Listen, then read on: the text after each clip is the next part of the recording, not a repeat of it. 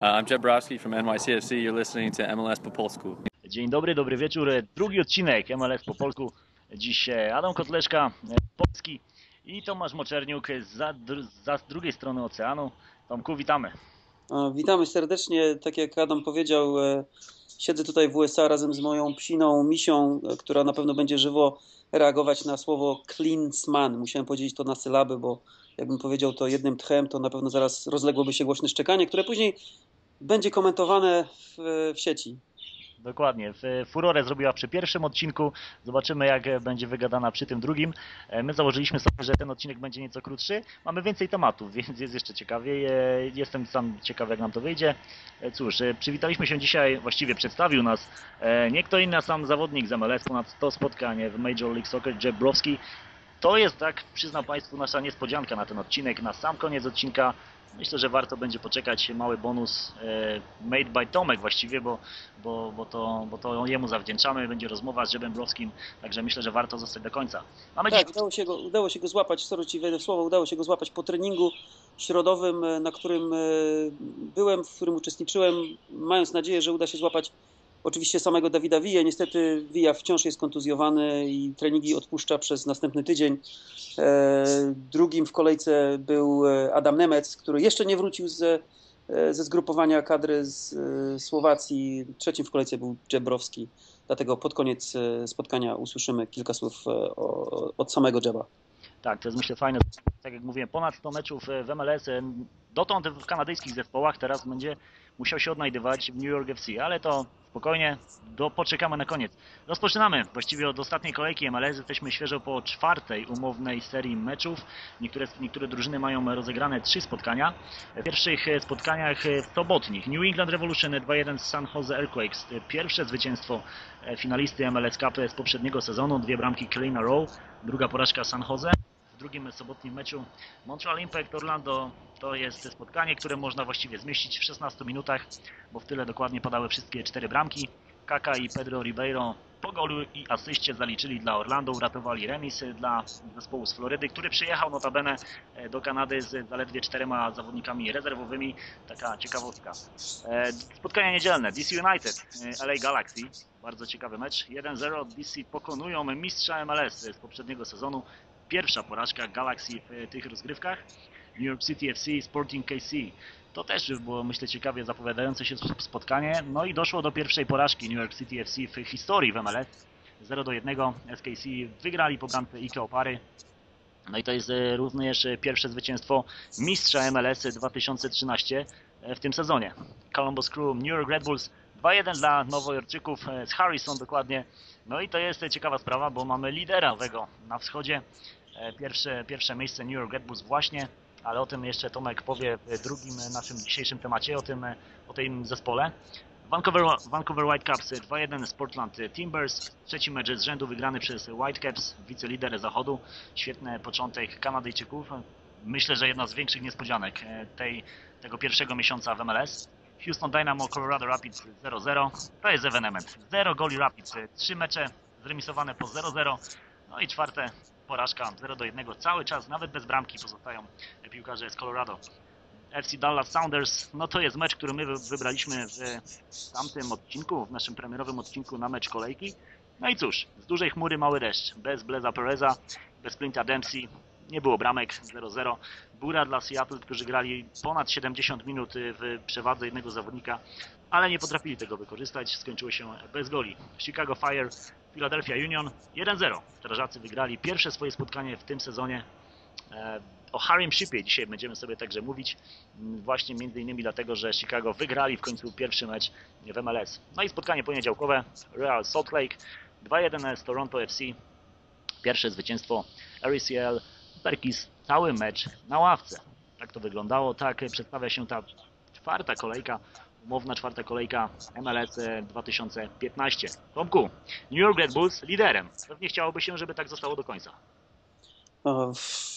Wszyscy na to liczą. e, Przede wszystkim liczą na to spragnieni kibice, którzy, jak wiadomo, Red Bulls walczą o najwyższe cele już 20 lat. e, Są jednymi e, z założycieli ligi. E, jednak e, w gablocie wciąż świecą pustki, nie włączając w to e, Supporter Shields, które zdobyli dwa lata temu. Wszyscy wiedzą, że okres przejściowy, okres zimowy był dla, dla tej drużyny bardzo, bardzo burzliwy. Pożegnano się nie tylko, przede wszystkim wszystko zaczęło się od, od odejścia Andy Roxburga, zawodnik, dyrektora sportowego, który, który ma fajny życiorys piłkarski odszedł. On zawsze powtarzał, że będzie tutaj tylko dwa lata i ani dnia dłużej. E, tak też uczynił.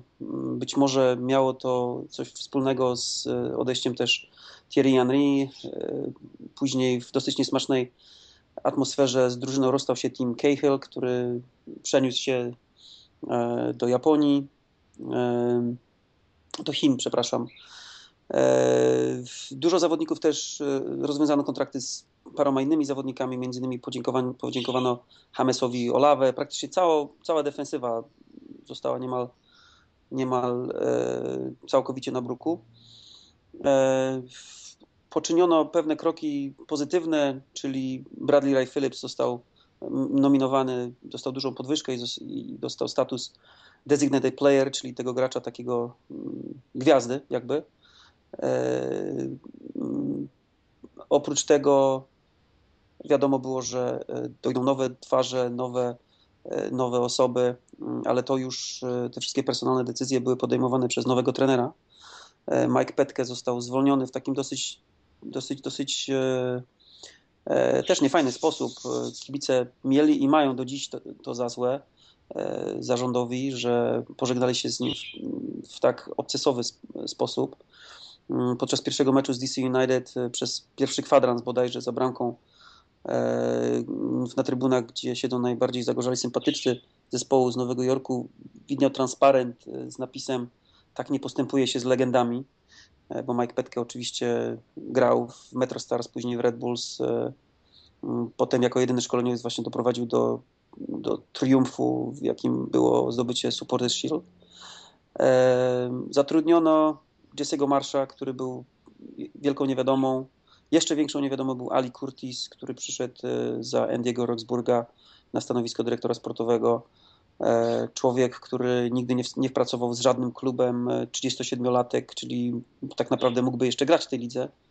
Mm, miał jednak dosyć spore znajomości i kontakty w, w lidze, gdyż pracował w, w, normalnie w firmie w MLS.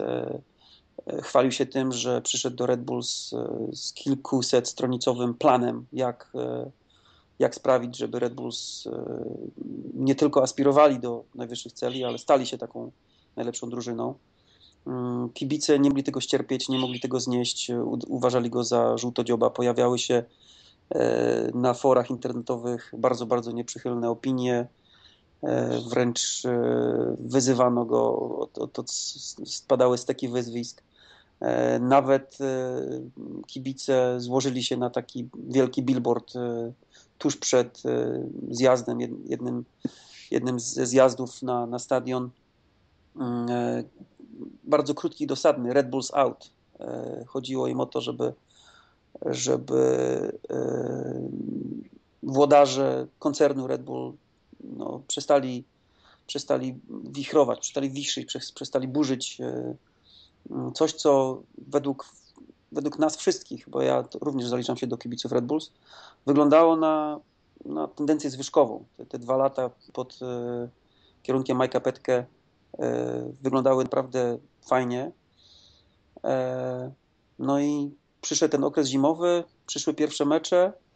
Mm, trener Marsz mówił, że on pyta, pytany na początku, czy obawia się przyjęcia kibiców, czy będą gwizdać na niego, czy jak będzie traktowany. Powiedział, że tego się nie obawia, bo wie, że e, zespół mm, grą i wynikami jego obroni. I co tu dużo mówić, po czterech kolejkach, gdzie Red Bulls rozegrali tylko trzy spotkania, są na czele tabeli wschodu, gdzie dwa mecze mm, rozgrywali na wyjazdach i to na ciężkich wyjazdach, bo i w Sportingu Kansas City i w Columbus, gdzie zawsze im szło jak po grudzie. W Sportingu zremisowali 1-1, powinni to spotkanie wygrać. Mieli bardzo dużo okazji do, do strzelania goli grali w, w przewadze. E, w Columbus również grali w przewadze od 82 minuty po tym, jak Iguain zobaczył drugi żółty kartonik, e, ale udało im się dowieść zwycięstwo do końca. Mm, e, Poza tym ograli u siebie DC United w bardzo, bardzo zdecydowany sposób. No cóż można powiedzieć na temat tej drużyny? Na pewno mm, nie ma tam gwiazd. E, Cała ekipa walczy. Widać, że pomocnicy e, uzupełniają się nawzajem. Moim zdaniem właśnie pomoc, e, właśnie zestawienie trójki środkowych pomocników jest siłą tego, tej drużyny, bo Dax McCarthy, który wcześniej był odpowiedzialny za rozgrywanie, tym razem jest takim ogniwem pomiędzy stoperami, a właśnie Felipe e, czy Salem Zizo. e, Lloyd Sam jest też e, uwolniony. Wcześniej miał się trzymać skrzydeł, teraz, jest, teraz ma dużo inne zadania, jest, jest, jest e, bardziej produktywny. Strzelił już dwie bramki w tych trzech spotkaniach. Mm, Bradley Phillips, mówi się, że zatracił gdzieś swoją formę. Ja się z tym kompletnie nie zgadzam. Człowiek ma dwie bramki i dwie asysty w trzech spotkaniach. E, Także widać, że jego rola nie będzie się ograniczać tylko do tego, żeby być egzekutorem, ale i, i będzie właśnie szukał kolegów, partnerów. Zresztą na nim teraz po tym, jak w ubiegłym sezonie strzelił 27 bramek i jeszcze kilka dołożył w playoffach, e, no wiadomo, że na nim będzie się skupiać uwaga obrońców. E, Także, także widać, że Marsz poradził sobie z tymi problemami, poradził sobie z tym, kto zastąpi Thierry'ego Henry, bo wiadomo, tych ostatnich kilku latach gra Red Bulls opierała się tylko i wyłącznie na zagraniach do Henry'ego, który albo strzelał, albo asystował, kreował grę, był praktycznie wszystkim. I e, mm, z tego, co zaprezentowali w tych pierwszych trzech kolejkach, naprawdę, naprawdę można być optymistą. Jak wiadomo, MLS jest ligą nieprzewidywalną. e, Sytuacje zmieniają się jak w kalejdoskopie. Widać, jak spłaszczone są tabele. Także jeżeli na przykład ktoś złapie formę na początku, dozna, do, do, dostanie zadyszki gdzieś na środku sezonu, to w dalszym ciągu e, trzeba pamiętać o tym, że e, aż 12 drużyn z całej 20-osobowej stawki awansuje do playoffów. E, Także, także myślę, że spokojnie Red Bulls mogą mierzyć w playoffy. No, ciekawe jest to, czy, czy utrzymają tą formę, czy, czy zespoły, które wcześniej, wcześniej Red, Red cechowało to, że grały w bardzo przewidywalny sposób. E, Wiadomo było, że u siebie są groźni i że będą atakować, że grają bardzo ambitnie, natomiast, natomiast e, na wyjazdach grali tak letargicznie i, i w kratkę. Mm, Teraz jest e, inaczej. Teraz grają z wielkim zębem, zaangażowaniem, gdziekolwiek by te mecze się nie odbywały. I e, no jestem bardzo ciekawy, co będzie na przykład za. Nikt, nikt nie stawiał na to, że, że, że na początku kwietnia to był jakiś prima aprilisowy żart, jeżeli ktoś by powiedział, że Red Bulls będą na czele tabeli, a jednak, jednak tak jest i e, no i, i e, no oby tak, tak dalej, bo tydzień temu na czele była drużyna, inna drużyna z Nowego Jorku, teraz Red Bulls, także, także kibice w Nowym Jorku zacierają ręce. To dokładnie, tak jak mówisz. Amerykanie, myślę, że ta piłka nożna może się scentralizować w Nowym Jorku. Powstanie nowego klubu na pewno się do, przy, przyczyni do tego, żeby no, w tym największym mieście w Stanach piłka nożna była coraz wyżej. E, ja sam przyznam, że też kibicuję New York Red Bulls. E, Gdzieś tam właśnie te czasy jeszcze od e, Metro Stars. No jest sentyment do tego klubu, ale to też jest chyba ten jeden z klubów bardziej pechowych. Tak jak mówiłeś, oni Supporters Shield faktycznie wygrali sezon zasadniczy, no ale te playoffy, czyli ta mm, creme de la creme e, w MLS, cały czas e, poza ich zasięgiem. Sam jestem ciekawy, jak to będzie wyglądało w tym sezonie. Bradley Wright Phillips, 31 goli łącznie w tamtym sezonie, tak jak mówiłeś, 27 w sezonie zasadniczym, 4 bramki w playoffach. Świetny start teraz. Nie wiem, kto się ma do niego czepiać, nie wiem za co naprawdę e, piłkarz, który ciągnie ten zespół po odejściu Henry'ego. Dobrze, o Nowym Jorku ja jestem przekonany, że w każdym odcinku będziemy mogli sobie dużo powiedzieć. Mamy człowieka tam na miejscu, więc będzie o czym, e, będzie o czym opowiadać. E, przechodzimy do meczu reprezentacji USA. E, Mamy to szczęście, że drugi odcinek i drugi mecz Youngs mają za sobą. Wcześniej mówiliśmy o meczu z Danią, przegrana 2-3. Teraz kolejny silny rywal z Europy. Szwajcaria, e, w Zurychu 1 do 1. No, kapitalny gol Breka Sheya e, ze rzutu wolnego pod koniec pierwszej połowy, ale Amerykanie jak to Amerykanie nie utrzymali prowadzenia do końca. Kolejny gol stracony po 80 minucie, dokładnie w 80 na 1 do 1. Proszę sobie wyobrazić, 9 meczów po mundialu, 6 meczów, w którym Amerykanie tracili gole po 80 minucie, no i za każdym razem te bramki oznaczały stratę punktów, albo remis, albo porażkę. Nie wiem, co jest na rzeczy. Jestem właściwie zszokowany taką, taką postawą Janks, bo przecież to jest e, reprezentacja, która opiera się na bardzo dobrym wybieganiu, na świetnej kondycji fizycznej, no więc w końcówkach spotkania powinno się wydawać, że to oni powinni nadawać tonę grze. Tymczasem jest kompletnie inaczej. Pięciu zawodników z MLS, a więc mamy mały progres właściwie, e, bo w tylu wyjściowej 11, plus jeszcze szósty zawodnik, Jordan Morris pojawił się na końcówkę spotkania. To jest ciekawa postać. Jeszcze nie zadebiutował w Seattle Sounders w MLS, ale gra w drugiej drużynie Seattle w USL Pro. Młody zawodnik. No i oprócz niego Nick Rimando e, z Realu Salt Lake, Mark, Michael Bradley i Josie Altidor Toronto FC, Gia Zizardes LA Galaxy, no i Breck Shea, e, zdobywca bramki Orlando. Cóż, fajna tendencja, co? Coraz więcej zawodników z MLS. Wtedy czterech, w wyjściowym składzie teraz pięciu. Tak, e, ja powiem, powiedziałeś w zasadzie wszystko na, na temat e, tendencji. Ja natomiast chciałem zwrócić uwagę na, na dwie rzeczy. Tutaj fachowcy amerykańscy, którzy nie są za bardzo za Klinsmanem, zaraz mi się zacznie szczekać, nie są za Klinsmanem, twierdzą, że ten mecz ze Szwajcarią był niemal był być może najlepszym za, właśnie za kadencji szkoleniowej niemieckiego trenera. Simon Borg to jest taki człowiek, który jest i analitykiem, i, i, i udziela się w wywiadach w prasie.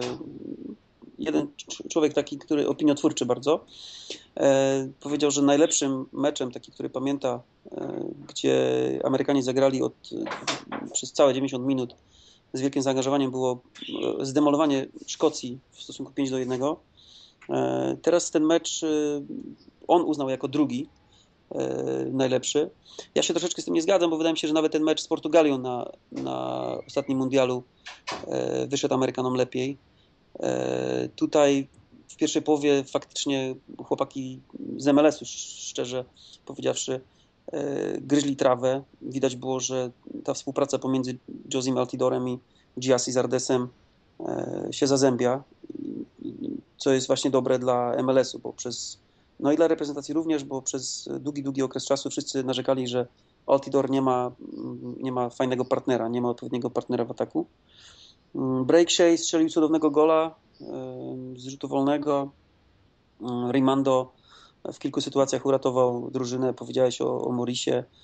No szkoda tylko, że Altidor w 80. występie w reprezentacji zachował się jak żółtodziu, potrzymał czerwoną kartkę, czym osłabił zespół, czym moim zdaniem, gdyby nie ta sytuacja, Jankesi dowieźliby zwycięstwo do końca. No i byłaby to spora niespodzianka, bo przecież Szwajcaria to 12 zespół w rankingu FIFA, rozstawiona podczas ostatniego mundialu. Widać było, że na początku meczu wyszli może w troszeczkę rezerwowym składzie, potem Potem trener wpuszczał tych bardziej podstawowych zawodników i gra nabierała rumieńców, także można gdybać, co by było, gdyby Josie tej czerwonej kartki nie dostał. Wynik idzie w świat. Myślę, że każdy chciałby, każda reprezentacja, szczególnie nawet, nawet i nasza Polska chciałaby uzyskiwać takie rezultaty na, na, na co dzień z takimi, z tak wymagającymi przeciwnikami. Nic dodać, nic ująć. Ja jeszcze tylko dodam, że moim zdaniem również mecz ze Szwajcarią, jak nie jeden z najlepszych meczów na pewno po mundialu za kadencji Klinsmana, no to może nawet najlepszy. Jeszcze ten z Czechami też bardzo mi się podobał. To było pierwsze spotkanie po, po Mistrzostwach Świata. Teraz faktycznie tylko remis, ale myślę, że remis ze wskazaniem, tak możemy powiedzieć, na Amerykanów. E, wróćmy na moment jeszcze do ostatniej kolejki Major League Soccer. Chicago podejmowało Filadelfię mecz na szczycie dołu tabeli, tak chyba można powiedzieć, zespoły z końca stawki w konferencji wschodniej. Chicago wygrali 1 do 0. No a jak Chicago, to Harry Ship. Bramki teraz nie strzelił, no ale znów to jest piłkarz, który bez niego akcja ofensywna Chicago Fire nie istnieje. Harry Ship to jest taka ciekawa, ciekawa postać. To jest człowiek, który w zasadzie wypłynął na powierzchnię w ubiegłym roku, kiedy strzelił trzy bramki na Red Bulls Arena kiedy Chicago wygrało w kosmicznym meczu z Red Bullsami 5-4. E, w tym samym meczu Bradley Ray Phillips odzajemnił się hat-trickiem. E, I od tamtej pory wszyscy przyglądają się jego grze. Mm, Jest to człowiek, który nie imponuje warunkami fizycznymi. E, Jest, jest niski, krępy, bardzo zwrotny, bardzo zwinny, dobrze wyszkolony technicznie, co jest bardzo ciekawe właśnie w kontekście takiej klasycznej dziesiątki. Em, Amerykanie, chodzi o reprezentację, wydaje się, że jednak preferują e, taką grę defensywnymi pomocnikami. Nawet Bradley nie jest takim klasycznym rozgrywającym. Mm, e, I mimo iż ostatnio pojawiły się głosy domagające się, wręcz e, właśnie Simon Borg, e, Greg Lalas e, domagają się tego, żeby, żeby powstała petycja narodowa mm, domagająca się, e, aby Klinsmann powołał do reprezentacji Shipa. E, On sam wypowiada się, bardzo tonuje te nastroje. E, Mówi, że być może przyjdzie czas, że on może tylko dobrze grać, może tylko pokazywać, że, e, że swoją postawą zasługuje na, na grę w reprezentacji. E, No powiedzmy tak, ktokolwiek obejrzy mecz Chicago i spojrzy na Shipa, no może troszeczkę przym, przymrużyć oko, gdyż e, mówię, warunkami fizycznymi nie imponuje, ale po tym jak e, przeanalizuje się jego grę przez 90 minut, kiedy robi się ten taki heatmap, czyli e, zobaczy się jak się Ship porusza po boisku, e, w które zakątki mm, boiska zagląda podczas 90 minut, no to te, te statystyki są bardzo imponujące. E, On szuka gry, on e, lubi kreować, lubi stwarzać zagrożenie, ciągnie do przodu. E, Jest takim, takim Napoleonem e, w ekipie Fire, e, który naprawdę, naprawdę dodaje ognia, dodaje wigoru. Jak sam opowiada, wzoruje się na, na Demie Kowalenko. To był kiedyś taki piłkarz Fire, jedna z legend klubu, który grał między innymi z, z Piotrem Nowakiem który też miał taki, taki bardzo dużą, dużą charyzmę, zacięty charakter i, i wolę walki. E, Czy, Harris, czy Harry'ego Shipa, który Twitter handle jest e, Championship, e, czyli on zawsze aspiruje do tego, żeby jakichś wielkich celi, celów. Czy zobaczymy go w, w kadrze USA? To nie jest pewne. Wydaje mi się, że za Klinsmana, który, mm, który ma jakieś tam utarte schematy i który mm, no, jeżeli do tej pory nie, nie powołał Shipa do reprezentacji, to być, być może ostatnim dzwonkiem dla zawodnika z Chicago będzie zbliżający się Gold Cup, bo to zawsze jest, jest rzecz prestiżowa dla Amerykanów. Wiadomo, że e, będzie do rozegrania kilka meczy w krótkim okresie czasu.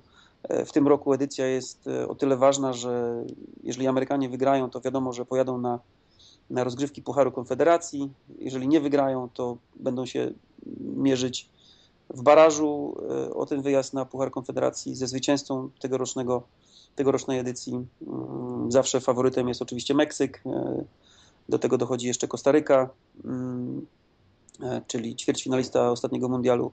Na pewno będzie ciekawie. Mm, Czy zobaczymy Shipa w reprezentacji? Nie wiem.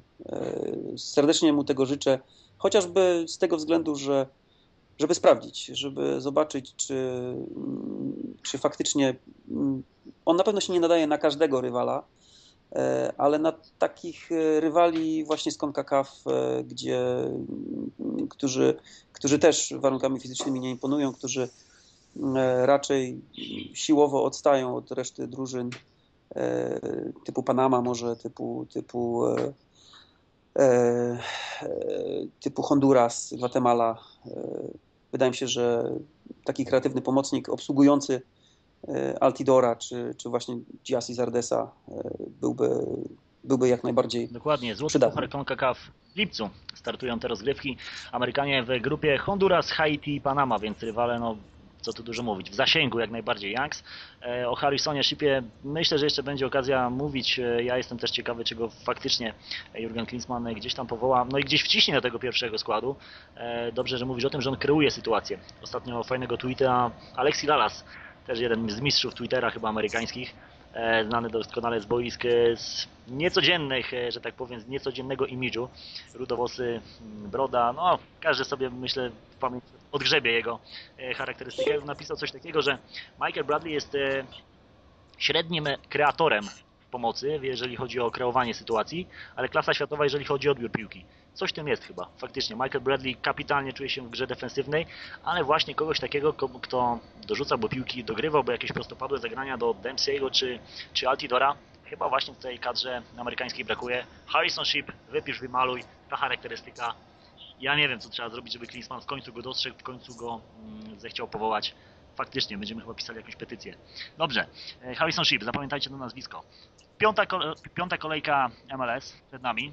Wielkanoc, nie Wielkanoc, Amerykanie jak zwykle grają, e, to nie jest nic nowego. Mm, rozłożono oczywiście sobota, niedziela, jedno, jedno spotkanie poniedziałkowe. E, my wybraliśmy sobie dwa mecze na mecze kolejki. Jedno na wschodzie, a drugie na zachodzie. E, w konferencji wschodniej Orlando, trzecie w tabeli, podejmie DC United, wicelidera, a więc naprawdę pysznie zapowiadający się mecz. Kaka na swoim boisku kontra, kontra DC United, a więc zespół, który też aspiruje do, no, do Supporters Shield na pewno. Myślę, że tak wysoko sięgają e, e, aspiracje zespołu ze stolicy.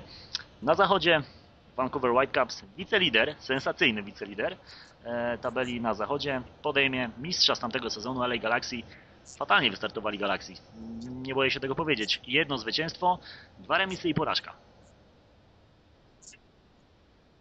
Tak, jak powiedziałeś, trosz, troszkę mnie zastanowiło to, że powiedziałeś, że mecz poniedziałkowy, ale to dokładnie. sugerowałeś się oczywiście czasem w Polsce. E, tutaj ten, ten mecz Sporting Philadelphia e, będzie o godzinie 19 czasu, czasu nowojorskiego. E, w Orlando City zastanawiać się będzie to, czy po tym jak zremisowali u siebie pierwszy mecz i przegrali u siebie drugi mecz, czy w końcu będzie stać ich na to, żeby, żeby sięgnąć po zwycięstwo. DC United, który gra w kratkę, bo przecież w meczu z Red Bulls nie zaprezentowali niemalże nic. Udało im się ograć Galaxy. Oczywiście moim zdaniem E, dzięki absencjom, e, na przykład Robbie Kane, wiadomo, był na, na, na zgrupowaniu kadry Irlandii. Także troszeczkę im się szczęście uśmiechnęło, bo podwójnie, bo przecież tego gola zwycięskiego Pontius strzelił w 93 minucie. E, także, także myślę, że mm, to będzie na pewno na pewno ciekawe starcie. Stawiam na Orlando. Myślę, że Kaka po tym, jak wszyscy w, w ubiegłej kolejce wspomniałeś o tym, że mieli bardzo wąską ławkę rezerwowych. Pojechali w zasadzie do Montrealu jak na stracenie.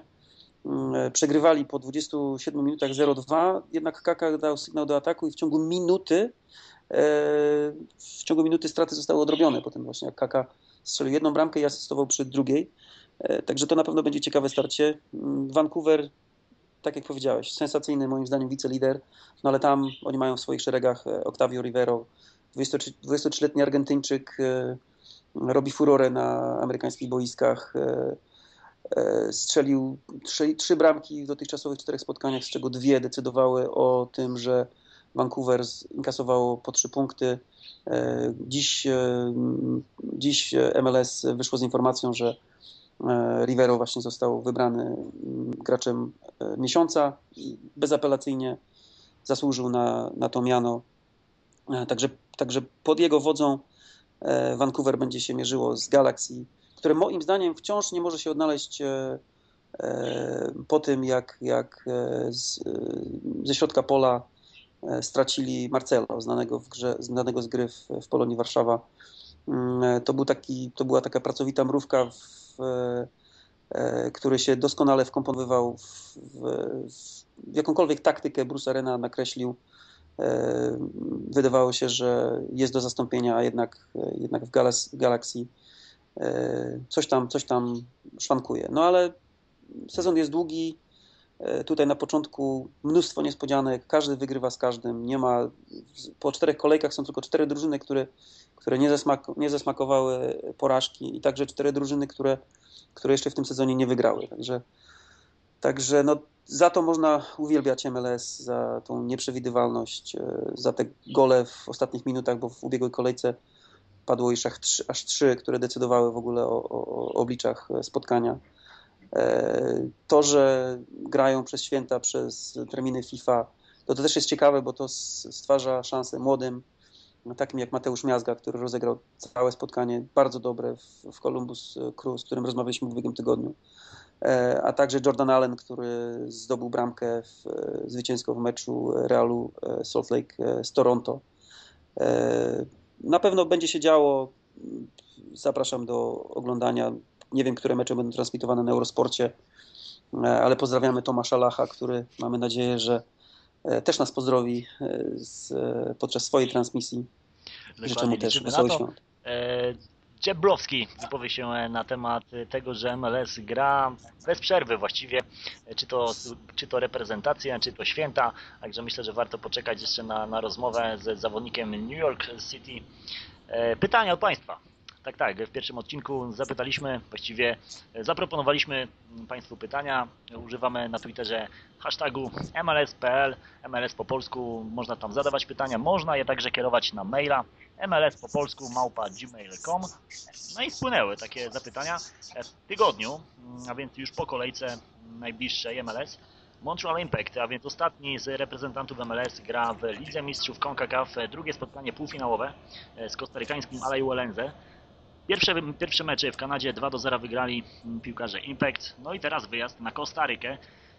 Finał jest o krok. To będzie pierwszy finał dla MLS od 2011 roku bodajże, kiedy Real Salt Lake e, wówczas e, przegrał w finale, no ale doszedł do tego finału.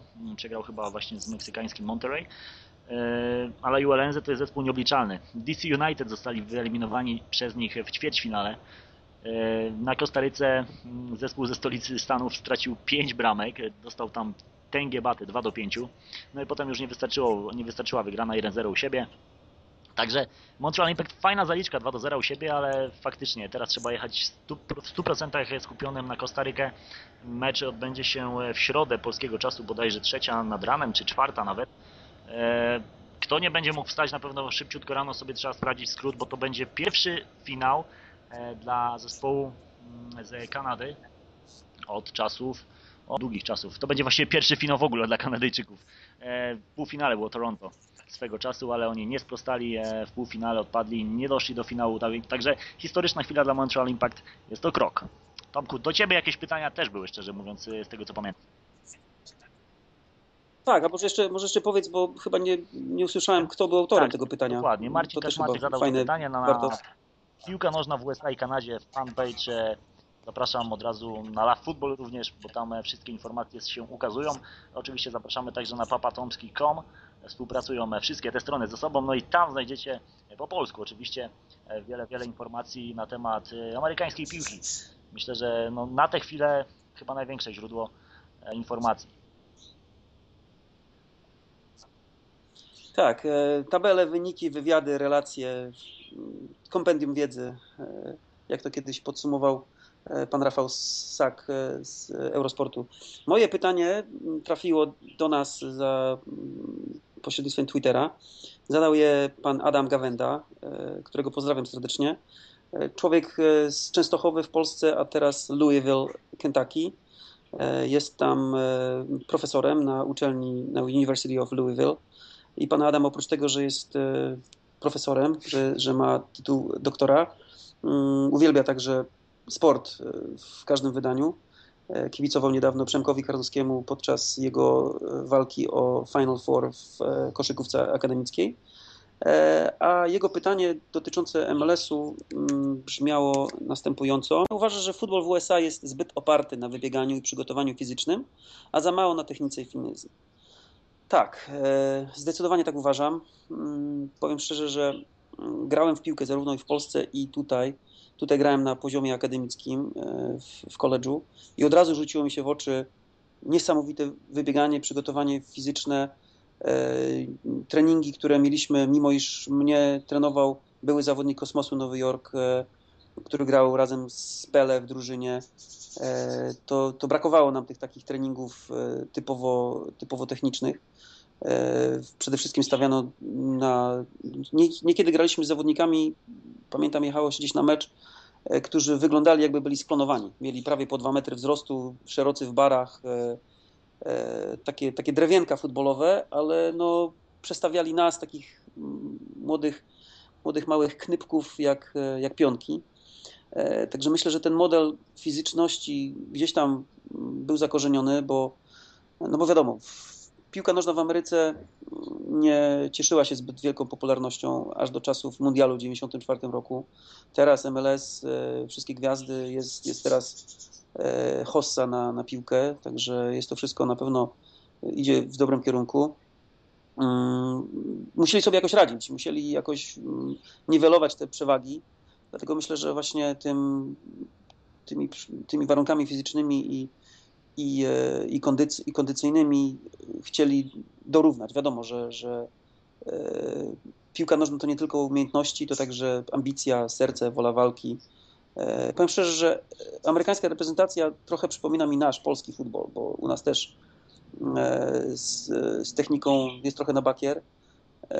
Natomiast czasami obie drużyny też słychać głosy, że brakuje im stylu że tak naprawdę ani Nawałka, ani, ani Klinsmann nie mają jakiegoś takiego, nie potrafią odcisnąć piętna, że jeżeli są wyniki, no to, to są jakieś, jakieś takie wyniki raczej szczęśliwe, bardziej, mm, bardziej wynikające właśnie z, z, z jakichś pojedynczych zrywów, czy pojedynczych indywidualności typu Clint, Clint Dempsey, e, czy nasz e, Robert Lewandowski, niż e, jakaś, jakaś taka właśnie gra zespołowa. No ale szczęściu trzeba pomagać.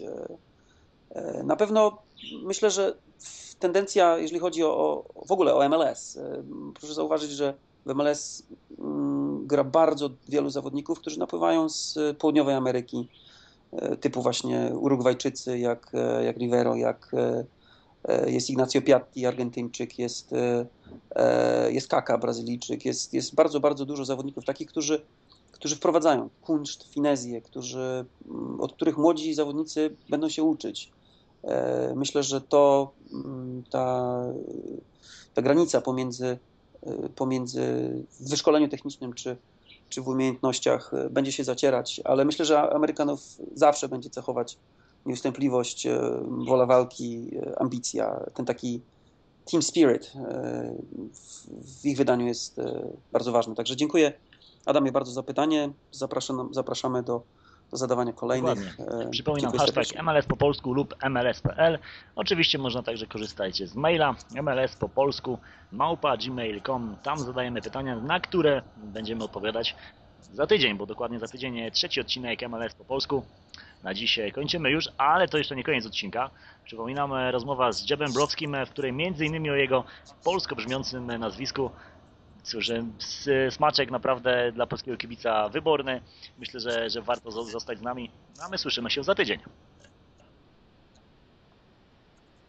Tak, dziękujemy serdecznie. Wesołych świąt tutaj z, ze Stanów Zjednoczonych. E, życzę wszystkim słuchaczom e, i Tobie, Adamie, również e, Tomek Moczerniuk, papatomski.com z misją, która, która przeleżała 40 minut bez reakcji na. No i bardzo dziękujemy. About the season so far. Uh, it's been very, very good so far. I think the guys, um, you know, from from an expansion standpoint, I think, um, you know, obviously you can look at it and look at the points and where we are on the table and, and and say you're pleased. But the good thing about this club is that we're not pleased with the the points that we're uh, that we've gotten so far. I think we've uh, been unlucky in, in a couple instances, but also, um, you know, we, we want to walk away with three points every single game. So um, it's a it's a good place to start, but um, we're by no means there yet. You've been a MLS veteran for a couple of seasons now, so uh, so it's not a surprise for you that MLS doesn't stop when the FIFA dates occur. Mm-hmm. Uh, but still, it hurt your team. Uh, what do you think about that? Do you think that MLS should step up and, and, and, do something about it? Well, I'm not. You know, I don't really have an opinion about the league itself. Um, you know, in, in our instance, I don't think it it hurts us too much because I think we have faith in a lot of guys on this club. Um, you know, from top to bottom, I think guys can step in and um, and even you know start in most places in this league. So I think we've got a good squad, deep squad, and uh, a lot of guys are waiting to prove themselves too. So that's that's a good thing. Before the season, you were pretty jacked up about playing at the Yankee Stadium. Uh, so you got to be pleased with the uh, outcome. People coming out supporting you. What, what would you what, what, are your comments after the first two home games? Ah, it's been incredible, uh, especially you know with the weather, how it's how it's been um, to see. Uh, you know, 30 and 43,000 people come out each game. It's, it's incredible, um, and and the passion and the energy in there, it's electric. Um, you know, we were unlucky not to to get them some goals to cheer about last game, but um, you know they were for 90 plus minutes on their feet, and uh, and so we love that. We love their support. We love the fans, and we keep we hope they keep coming back. Two non-soccer related questions. Uh, I know you've been uh, an ambassador for uh, uh, Homeless World Cup. Uh, last year, well, in 2013, uh, the, the, the World Cup uh, took place in Poland. Are you still involved with that? Uh, Yes, yes, very what what is your involvement as Uh, well, you know, I've been working uh, closely with Mel Young and Rachel May, um, and they they've been helping me out with uh, with just getting more support with the, and awareness with the Homeless World Cup, and also, um, you know, I'm looking forward to, to getting down to one. You know, whenever I can, um, you know, maybe I can get away for a little bit and and go support the guys. I know I helped with the Canadian team uh, before, and I'd like to help with the United States. Um, but you know, I think it's a fantastic thing that. Um, I wish more people knew about, uh, but but hopefully they will, and I think it's growing. Uh, congratulations on that. Uh, uh, there's there's about two million uh, Polish Americans here in the New York metro area. Uh, we're, we're trying to uh, break the, uh, the, the the grounds in terms of uh, we just we just uh, came out with the MLS column uh, all in Polish. We, we're doing a podcast and stuff like that. So we're, we're just wondering. We're, we're looking for some Polish traces in, on the NYCFC team. Are you Polish by any chance? Uh, well, see, the funny thing is, I'm adopted, but uh, so I don't really know my roots. But my uh, my family, Brovsky, actually is Slovakian. Slovakian. Uh, but yeah, um, I, I, I certainly get uh, get the Polish shout uh, quite a bit. But no, I am I am Slovakian and Irish. But okay, uh, but you wouldn't mind saying I would support I would support uh, I would support Polacks no matter what. Okay, so uh, so would you mind saying uh, I'm Jeb Braski, NYCFC. Uh, uh, you're listening to MLS MLS po polsku podcast. Can you say MLS po polsku? Popolsku. Po polsku. There you go. Yeah. Uh, I'm Jeb Browski from NYCFC. You're listening to MLS Popolsku. But-